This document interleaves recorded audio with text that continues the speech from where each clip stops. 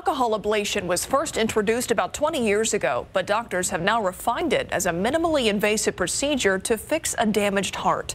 As Leslie Mouton shows us, for one man, it was a matter of life and death.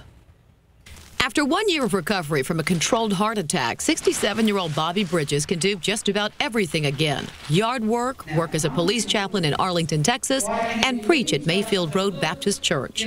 My heart stopped. Uh, evidently, I rolled at about five miles an hour through two intersections and uh, hit the curb, and the jolt of the curb uh, brought me back to life, literally. But the wall thickness here is normal.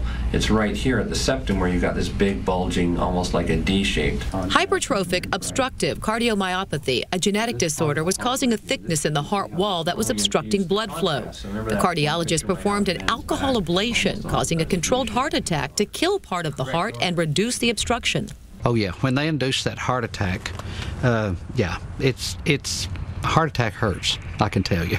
Immediately, with the obstruction gone, the blood flowed normally, and Bobby returned to normal life, even preaching again. His recovery was faster than if he had chosen a surgical route. In the appropriate patients that are appropriately screened, it can be life-changing as it was for Bobby. I'm completely a new person. If if there's any way to describe how I am today, uh, I'm 30, 30 years younger. With a whole new lease on life, Leslie Mouton, KSAT 12 News.